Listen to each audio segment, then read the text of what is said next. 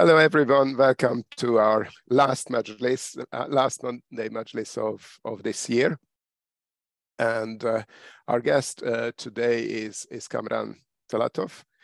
And, uh, and uh, well, one of the, one of the forum, fora I used to, to advertise the, uh, this, these, these Majlises is the Adabiyat. But I also actually see what's going on there. And uh, the way, way how this Majlis came into being is that I saw uh, Kamran, um, uh, Kamran's new uh, ad, uh, new book advertised. And then, then I thought that's that's fantastic. We are going to. That's one of the one of the uh, goals of of the Majlis to discuss newly newly published books and uh, and I thought that would be ideal. And then I approached uh, Kamran, and and we we uh, found this date. Um, I you also know that that I'm trying to mix uh, this majlis uh, to have people really from from various background and and very at, at various uh, um, level levels in their career and I, I wanted I wanted to to conclude with with someone someone really established. So that's why we are concluding uh, with with with Kamran the the series for the year. And then I had I had the the joy to to meet him in Denver uh, mm, a week ago or two weeks ago. I don't. And and um, so so and and learned very interesting things about him, but he will probably share with you as well in, in, in the introduction. So I will be silent and, and uh, Kamran will, will take over. Thank you so very much, Swan, Sarah, for and the Majlis for inviting me. Um, it's um, also I'm thankful for all of you who have um, uh, participated. Um, some of uh, you pleasant surprise, Dr. Jocelyn Sharlet. uh, hadn't seen her for a while. Thank you, Marta from uh, Toronto. Um, my colleague, Austin O'Malley from Arizona, and many, many, uh, many more. Um, uh, if uh, Stevan had asked me two months ago to talk about um, myself as part of the presentation is this, uh, this forum, I would have respectfully turned down the invitation. I had never talked about my past uh, until Runner, Runner's World magazine, the largest in that sport, interviewed me um, last summer and published a September um, article uh, titled he keeps running uh, to process his past, uh, his uh, painful past. This piece touches upon my ultra marathon running, political trauma, and academic works. Its publication revealed a piece of my story, and consequently, I feel I can share some of my experience. But so you don't take it too seriously, here is the epithet with which the entry starts. I ran out of water during a hot 50 kilometers run and happened upon a petite pond near a farm. I knew the water was not drinkable, but I thought I could wash my face and head to the and head to cool down thinking the water had too much cow poo and pee, adding nausea to my dehydration with more than 12 miles to go.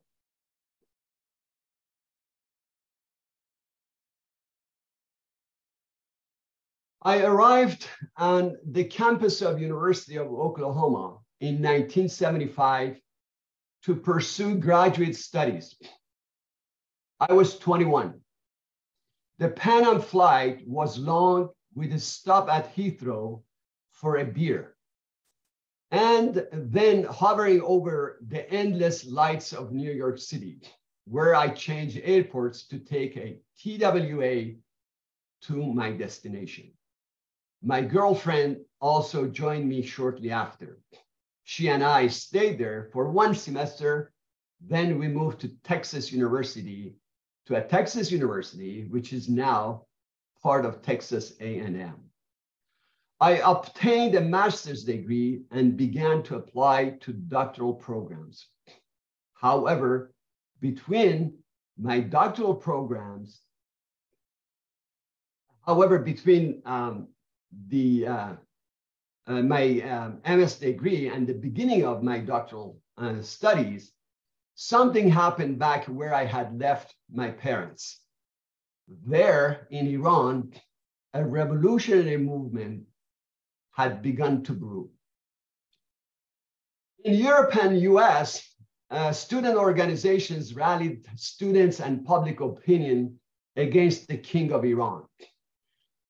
Despite being suspicious of their explanations, I believed some of their lies and propaganda. I also devoured numerous books on Marxism, which were banned in Iran but freely available on American campuses. The revolutionary movement that had started around 1976 by both the leftist and Islamist forces expanded quickly. So instead of attending my doctoral program, we returned to Tehran in February 1979, mostly out of worry about family and country. Students' organizations were also encouraging students to go back to Iran. The revolution ended the Iranian monarchy, an event that impacted lives of many in the US, the entire region, including mine.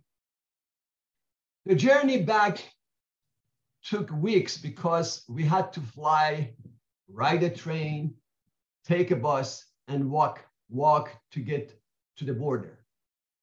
When we crossed over the border, the day after the Shah's had, the rules had ended, no one checked our passports. Inside the country, I felt most people were hypnotized and directed to express jubilance.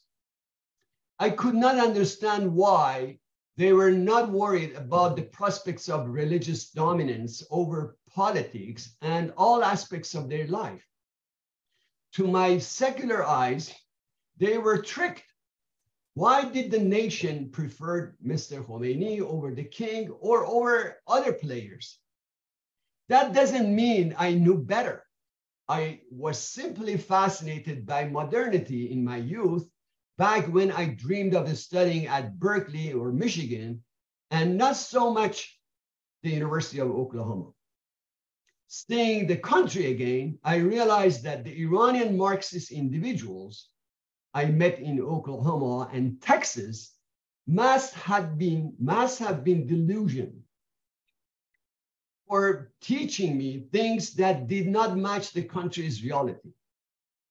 I was ready to listen to the elderly family members now who were warning of the danger of a new type of fascism.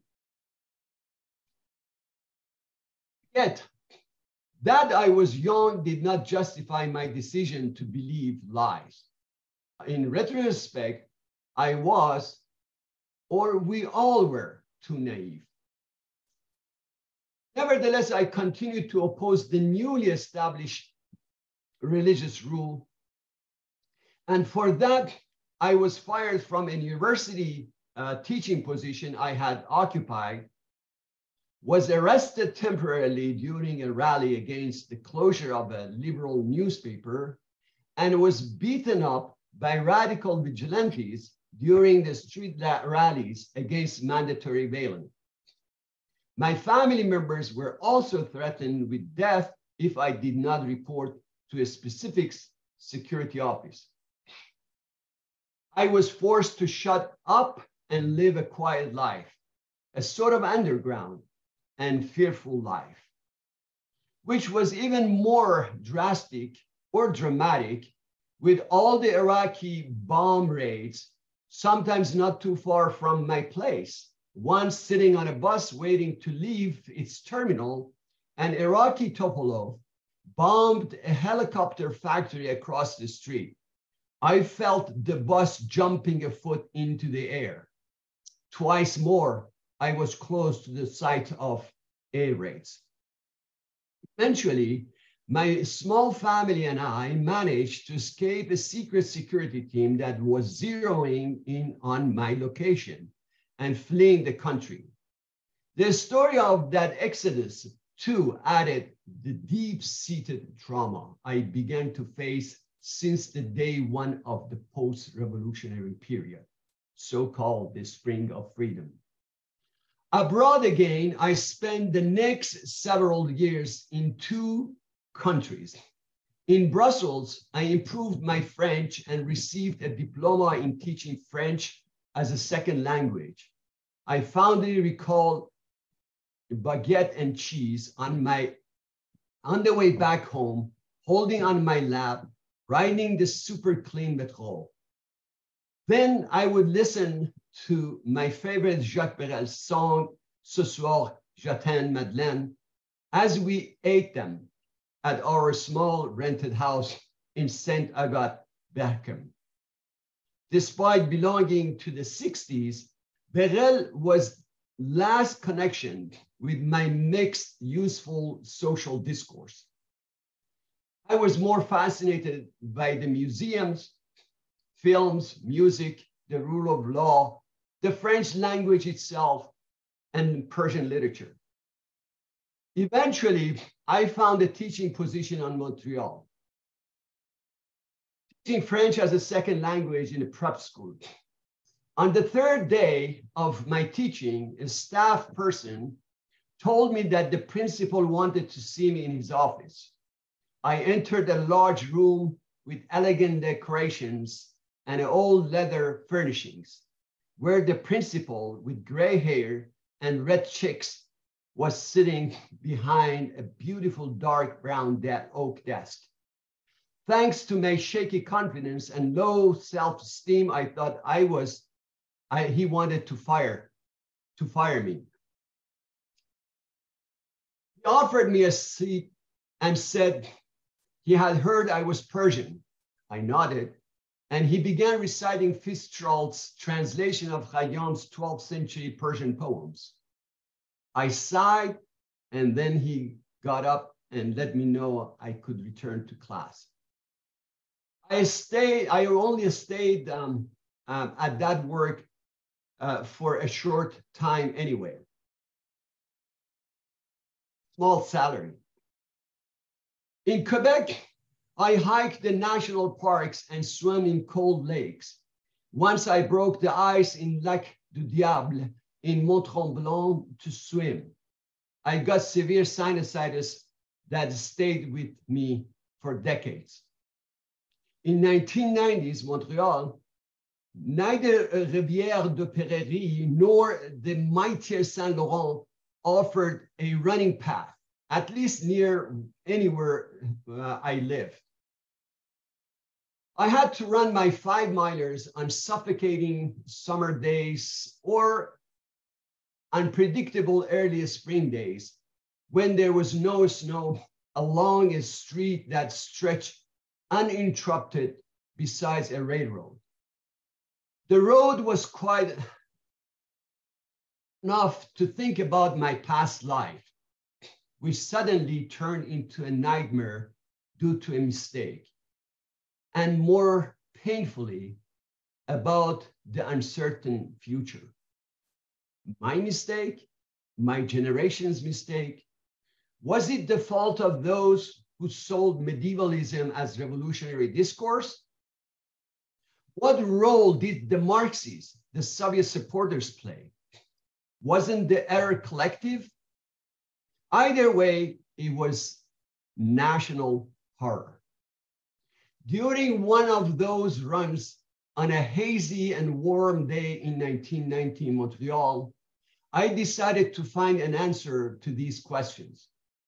And I thought the answers would be in wouldn't be in history books or political archives, but in the works of literature. I applied to a Canadian university and the University of Michigan.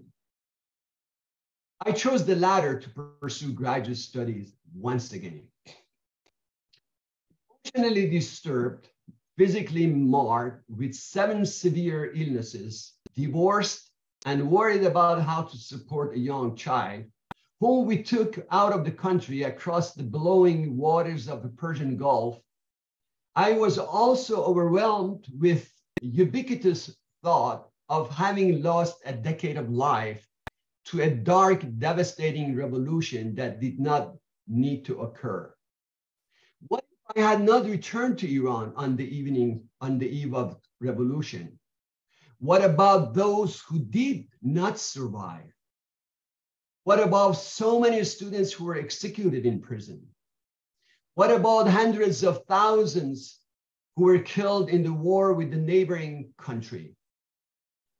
If right now you're thinking that the events of the recent months in 2022 are all deja vu, for me, the answer is yes and no.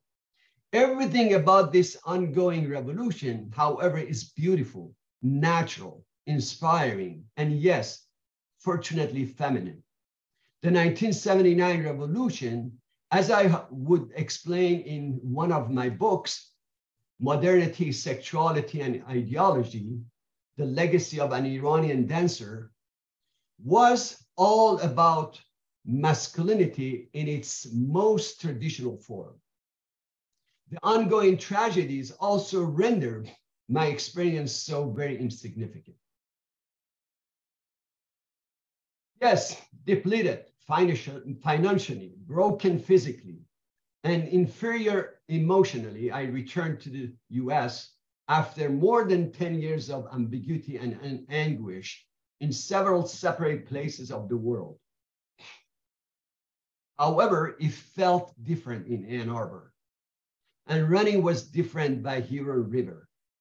When I arrived on the path near the Arboretum with its mighty trees, I wanted to believe I had made the right decision to leave everything behind for the third time. I felt no regret. I even felt I could fall in love again. But here, too, Twisty River, the Twisty River of Huron, kept my meandering memories. And only gradually I succeeded in spending part of my daydreaming to make a connection between my experience, literature, and social change, all of which are the context of many of my publications. I was physically able to run faster and academically stronger as to progress faster. This connection between apparent, the, connection be, became uh, apparent to me in my conceptualizations of episodic literary movement model which explained the history of contemporary Persian literature and to some extent Arabic and Turkish literatures. In the book I published based on my dissertation entitled The Politics of Writing in Iran, a History of Modern Persian Literature. The episodic literary movements I showed as part of literary history had all been inspired and inspiring to social discourses as nationalism, or what I call Persianism, Marxism, Islam, and feminism. Mentally and physically, I had interacted with all of them. Returning to my studies and taking a stab at a normal life was arduous, and surviving was not easy either.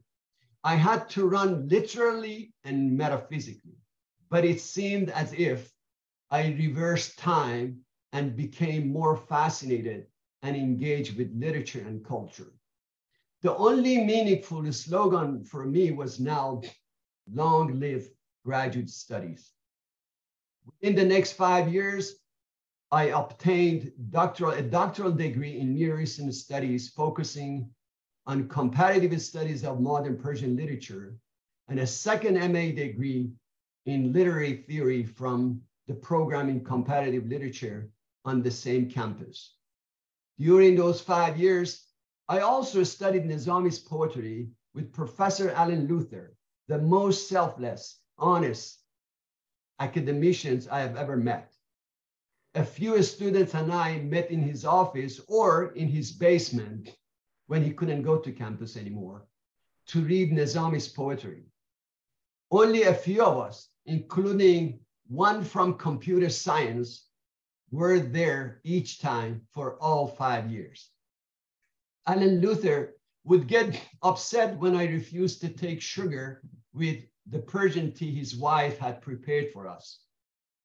How do you call yourself a Persian if you're not taking sugar with your tea? Chai bedun rand? Before defending my dissertation, I received a teaching position at Princeton University, where I stayed for three of my contract, three years of my contract.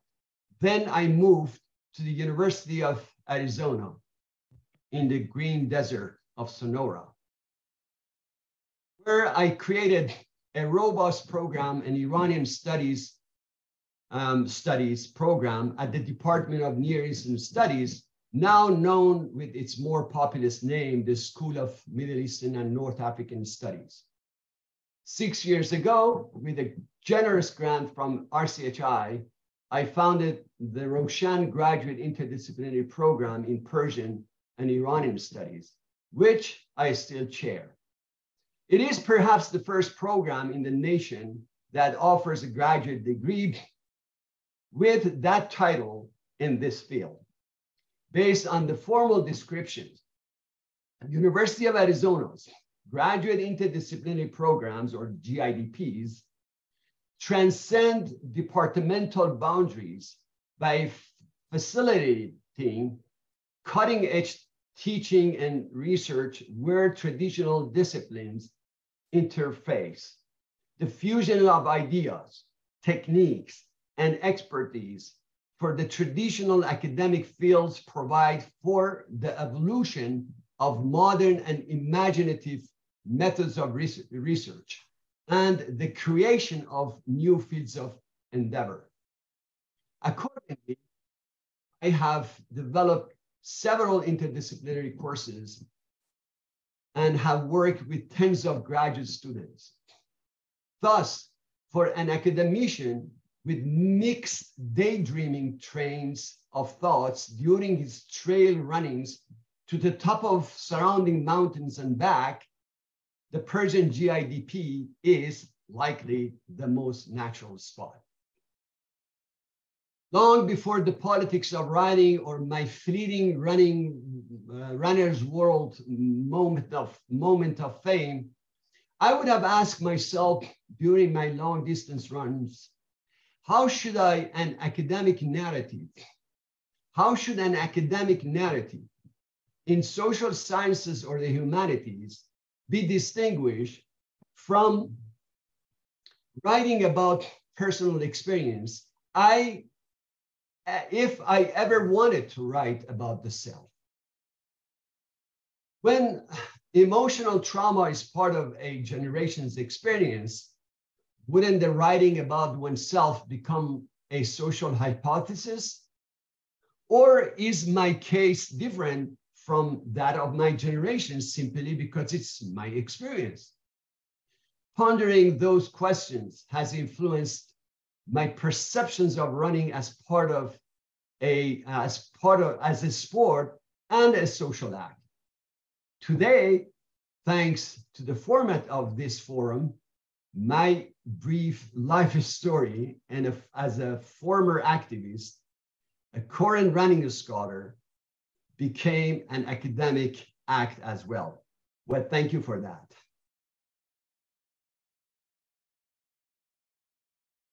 Uh, let us now get to the main point of um, the main and the important point of this meeting, Persian poetry.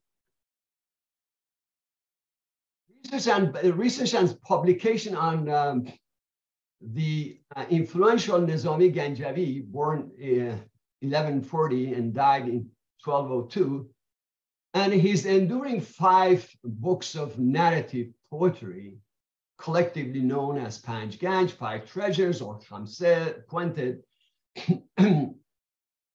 have grown in the last four decades, somewhat in a different way. However, an overwhelming majority of these works, if not all, interpret Nizami's poetry as the product or advocacy of Islamic mysticism or Islam, and pay less attention to his literary techniques and his profound and complex perception of poetry, rhetoric, and eloquence. In my work, I offer five explications and argument about Nizami's poetry, often um, in comparison with um, the works of other major uh, poets to clarify the nature of um, his artistic approach um, to poetry. Um, do you see the slide with the five points?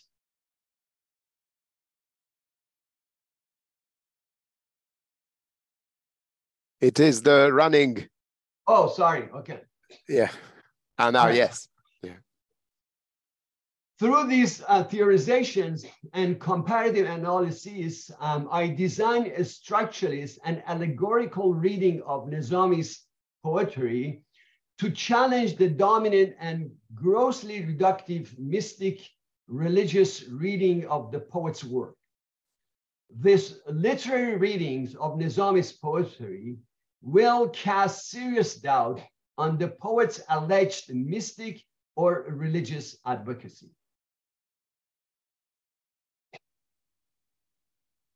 The last item on the slide um, about the concept of Nizamian pictorial allegory is what connects all the points and all the chapters.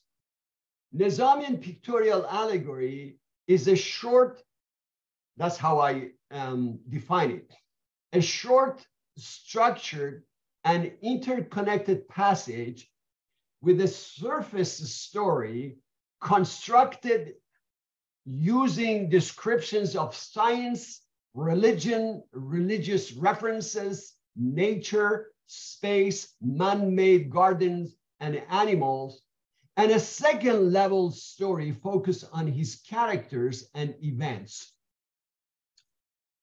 The Nizamian pictorial allegory differs from a parable or fable. The surface story, in his case, might not convey a philosophical message or lesson, at all. The purpose is to show or boast about the dazzling possibilities of words when juxtaposed and coordinated in terms of sound, shape, meaning.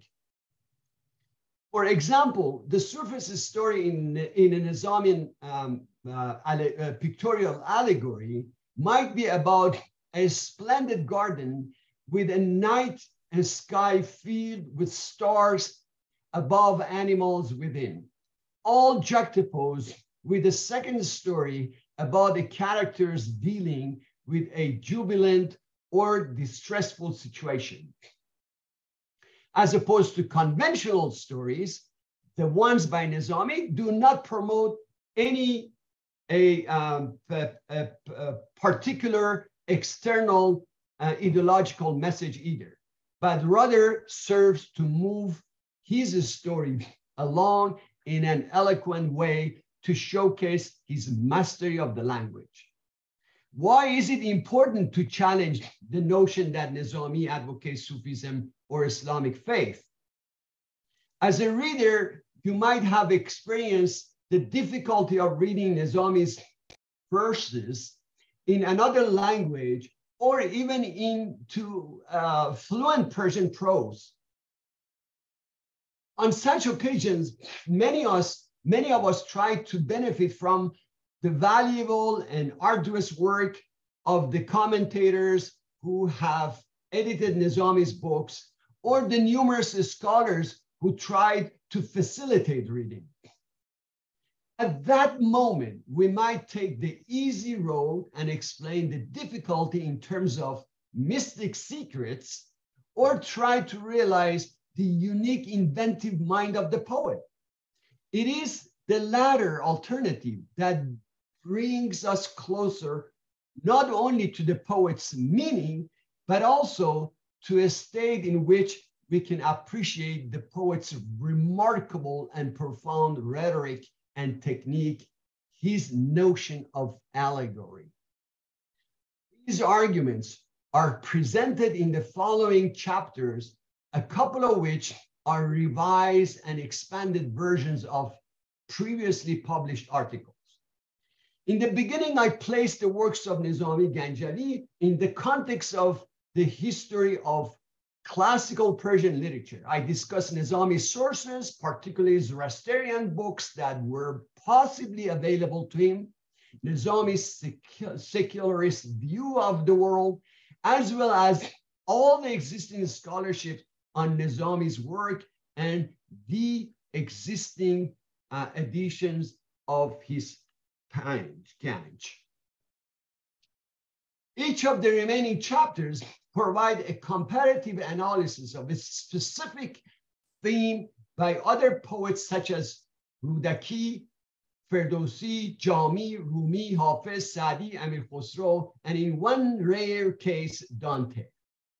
In the next part entitled Nizami, the Persian world's, worldsmith, Sakhon in classical Persian poetry, I explained that Nizami, is, Nizami works with various themes and motives, uh, motifs in his poetry to produce sakhon, discourse or eloquent speech, and that's how it was pronounced uh, at that time, which I eventually contend to mean literature.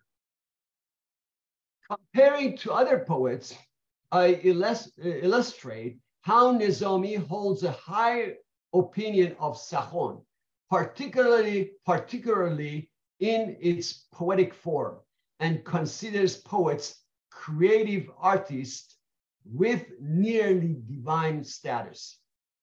What connects Nizami's thematically various poems is his passion for words, literary creativity, and polymathic fluency with the art of rhetoric or sakhon, which he enriches with themes and subjects such as love, religion, science, wine, philosophy, which are all rendered in exclusive, uh, exclusive style with intrinsic, uh, intricate technique. The uh, poet uh, himself uh, has shed light on uh, this uh, point. Uh, you can read um, its English translation as I read the, the passage in um,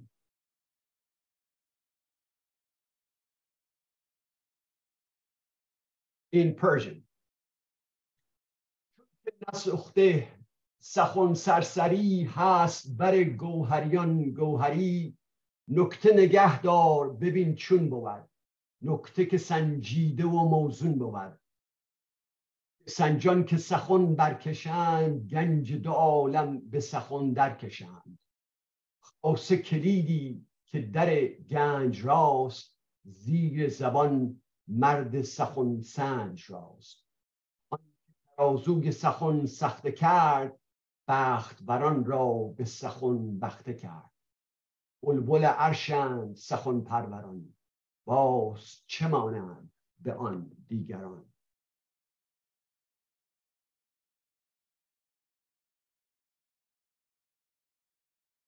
Here, as you can pay attention to the, the repetition of certain sounds, to the um, almost um, Islamic move from uh, one image to another um, illustrates, then the purpose is just the constructions of an allegory, which actually starts with the, the, the descriptions of items um, or natural elements and then zoom in on um, the, the poet's abilities.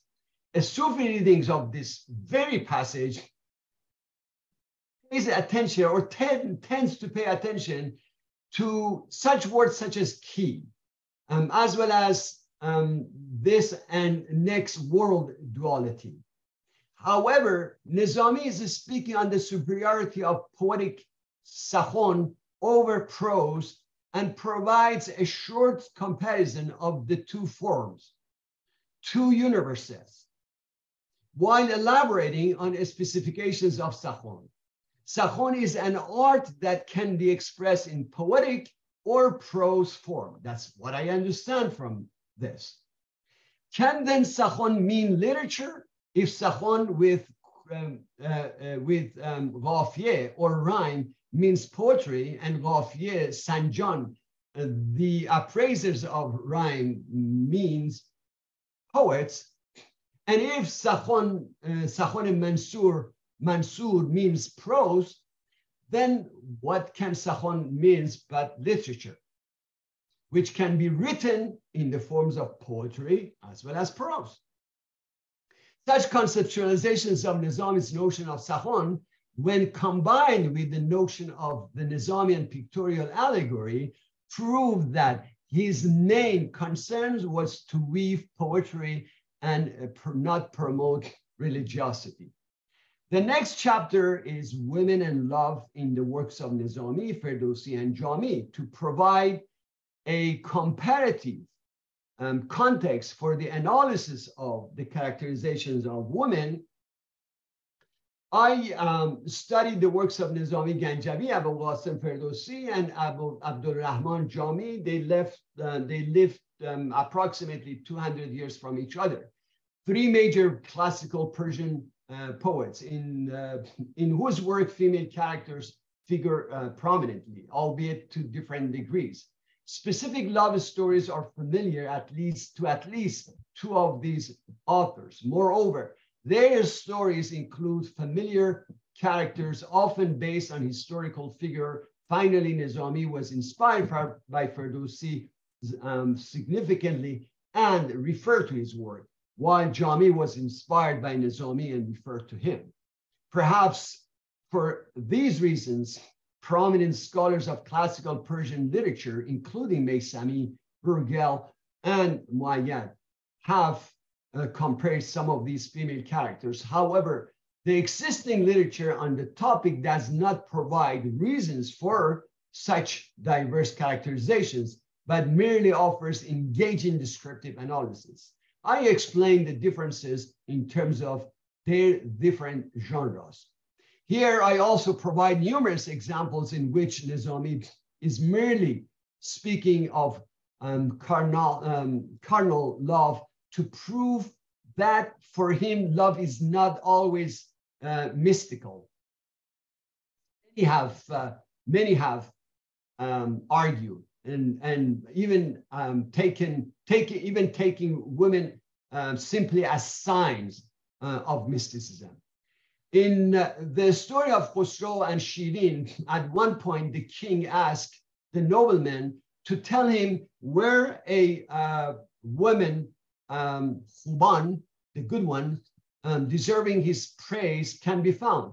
Each speaker offers the name of a uh, realm and the description of uh, women of uh, that region.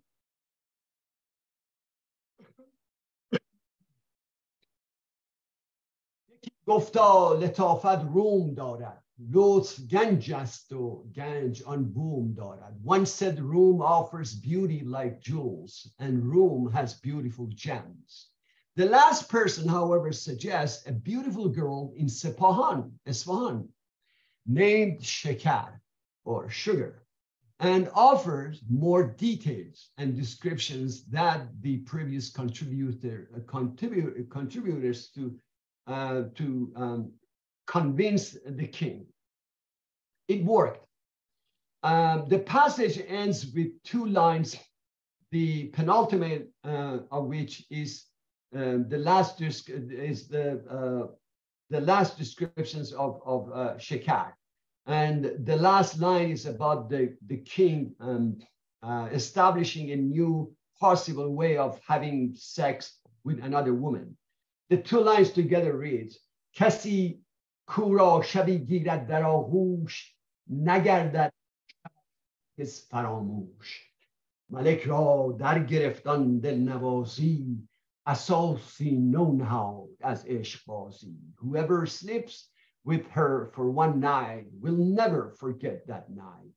The king fell for the heart heartening words of love. He created a fresh basis for making love. Khosrow wants to sleep with another beautiful one, in addition to all his mistresses, to elicit Shirin's jealousy and provoke her to sleep with him. Fate, facts, and fantasy, stories of ascension, and Nizami's allegory discusses uh, Nizami's portrayal of Miraj or the story of ascension, in which he speaks of stars, astrology, and horoscopes, like in the rest of his poetry, with an intense focus. The chapter explains that the, the, the, the irritations of the story alone can qualify Nizami as a religious, uh, can disqualify actually Nizami as a, a religious advocate or um, a, um, a, pious Muslim, uh, or at least as a pious Muslim uh, poet, because Islam technically forbids um, uh, astrology and horoscope as um, harmful. Um, uh, several uh, books um, at his time were, were published against uh, this issue. However, through comparative uh, literary analysis, um, the chapter explains the literary uh, reasons for his five uh, portrayals. In fact, the relationship between um, the poets uh, and the court was um, uh, most of the time uh, complex. And um, I assume that this was part of the court politics. But um, obviously, in this uh, presentation, there's no way to uh, even um, analyze one of them. But even placing all these five renditions alongside each other can tell us about the, their similar and yet complex structures. It can also show us that the poet has spent time and care on their structures for, for perhaps no other reason but to exhibit, to exhibit his incredible ability to work with raw materials. Wine um, and identity in the works of uh, Nizami and Rudaki covers uh, the literary uh, representation of wine, a dominant theme in Persian poetry, giving rise to endless debate about the nature of wine and its metaphorical implications.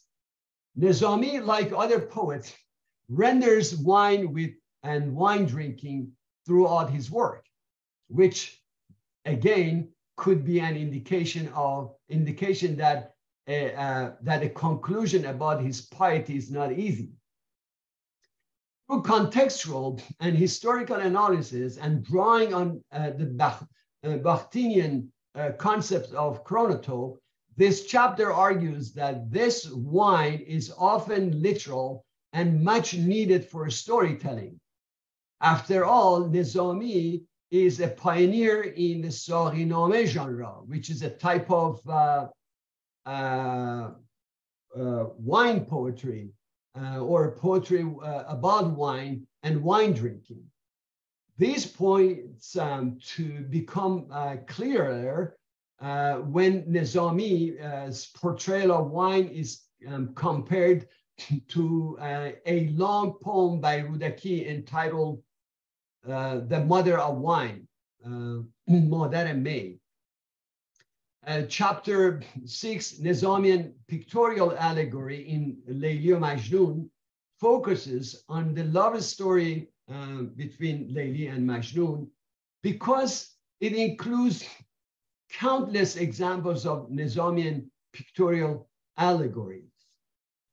I further support the arguments about the sophisticated aspects of Nizami's allegorical poetry to show how Nizami's narrative poems include a, a series of um, allegory, allegorical constructs that together um, uh, structure uh, to, to, to, to, together connect the structure of his romances um, and uh, a comparison of his Layli Majnun also with other, uh, with um, uh, those of um, Amir Khosrow Dehlavi and um, Abdurrahman Jami will also further explain Nizami's approach.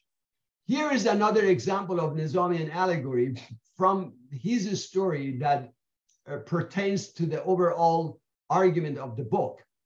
When Majnun starts praying to by the Kaaba, actually um, had been asked by his father to do that. He asked for the exact opposite of what his father um, had um, advised him to request. His first, um, he first laughs and then cries. And after that, jumps towards the uh, Muslim holy uh, building like snake and curling. Phrase that his love for Layli intensifies and uh, uh, deepens. The father has asked him to, you know, uh, to pray so that he would get rid of the love. It is a sublime moment again. After a descriptions of the surrounding, the segment turns into descriptions of Majnun internal, Majnun's internal feeling and thought, which partially uh, reads, در حلقه عشق جان فروشم بی حلقه او مباد گوشم گویند ز عشق کنجدایی کین است طریق آشنایی من ز عشق میپذیرم در میرد عشق من بمیرم پرورده عشق شد سرشتم جز عشق مباد سرنوشتم. آن دل که بود ز عشق خالی سیلاب غمش براد حالی. یارب تو مرا به روی لیلی هر لحظه بده زیاده میلی. از عمر من چه هست بر جان بستان و به عمر لیلی افزار در چه شده ام چو مویش از غم یک موی نخواهم از سرش کم I hope you had the chance to read the English translation as we're listening. It is an as, as, as um, astounding moment and very much unexpected. Kaaba and Mecca, the epicenter of the rise of the Islamic faith, mean different things to Majnun uh, inconsequential to his deep emotion. In the story, why neither the father nor the son gets their wishes fulfilled at that holy site, they both remain convinced in their beliefs after they return from their unsuccessful journey. The allegory builds suspense in the tragedy of those lovers. They are willing to try anything, including the greatest of all faithful acts, pilgrimage to Kaaba. In this case, the surface storyline is to seek remedy by going on the pilgrimage. The hidden, so-called hidden surface is,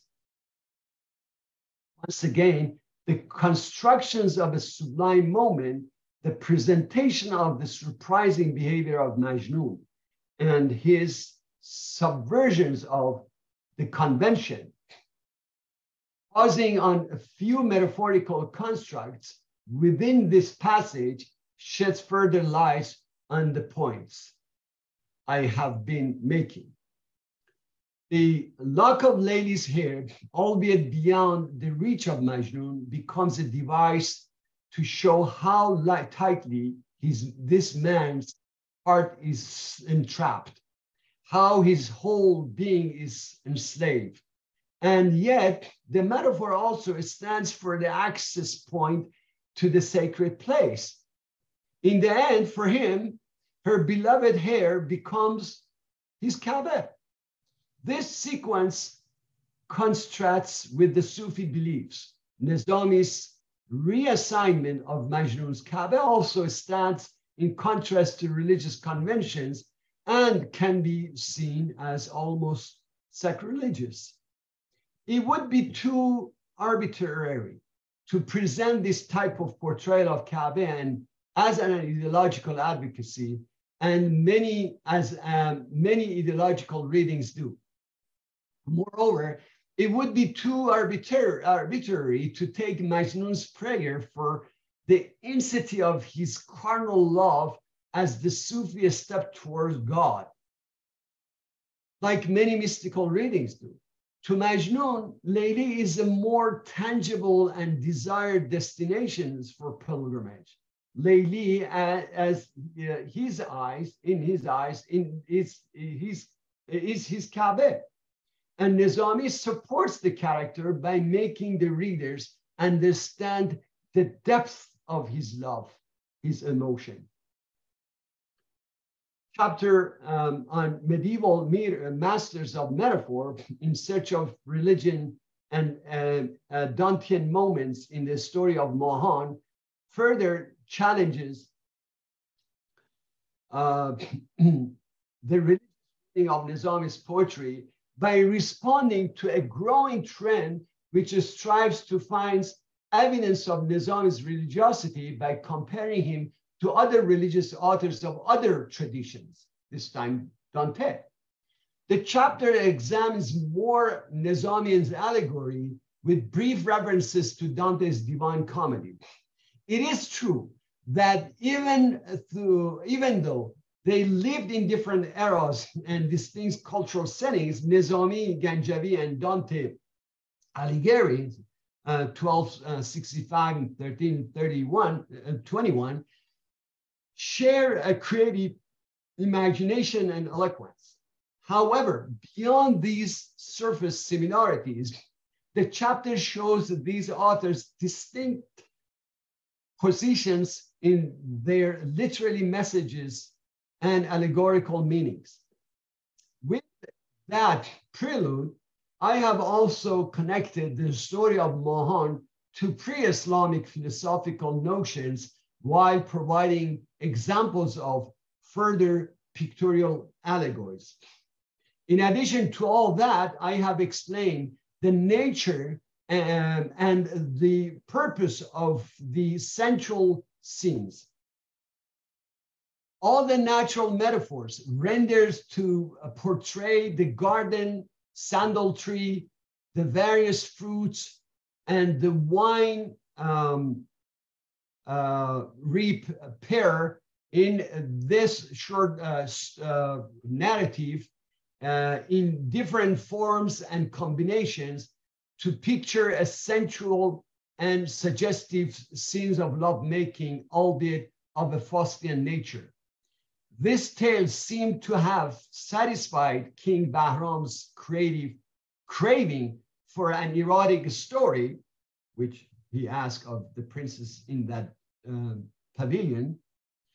It also shows Nizami's desire to produce more and more pictorial allegories. Finally, Sublime Métier literally technique and allegory in, is the conclusion of the book, focusing on Nizami's overall literary endeavor and his literary techniques. By um, elucidating Nizami's system of ethics in terms of the situation he sets off in his um, highly allegorical works, I contend that even Nizami's ethics and indeed his morality are not derived uh, from any meta ethical notion.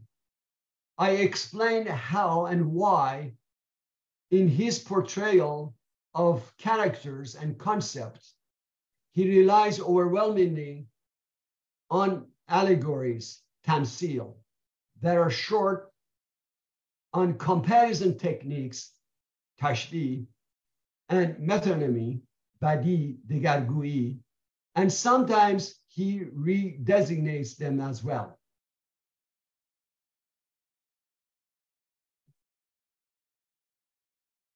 This chart uh, might summarize what I have discovered to be Nizami's method of coining metaphors by combining uh, nouns and adjectives and all in serving of his allegorical uh, construct. That is, the natural element of the earth,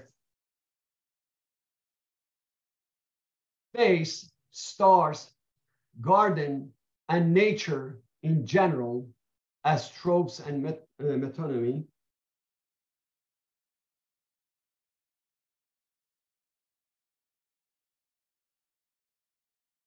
compositely and intensely cohabit in rhyming uh, rhythmic verse or a passage to influence, foretell, elucidate the expressions of the literal and tangible mental or physical status of characters or events to produce a pictorial allegory which is on the right side of the chart. Again, a Nizamian, um, a pictorial allegory then consists of a short unit of tightly interconnected in terms of meaning, goal, tone, sound, shape, attitude, and its external surface of verses and it usually consists of four to 14 lines. It is a story within a story, a poem within a poem, or an image within an image. It, it, its uh, interpretation might be challenging, not because it does or does not contain an intrinsic meaning or philosophical message, but rather because its semiotic references might be from a variety of texts, sciences, or religious uh, or religions, religions requiring intertextual approach or even an interdisciplinary reading of the piece. Thus, I conclude that this métier, um, his métier as a um, Sohan writer, and romancer and his allegorical technique explain not only his style of creativity, but also his ethics and advocacy. Thank you so very much.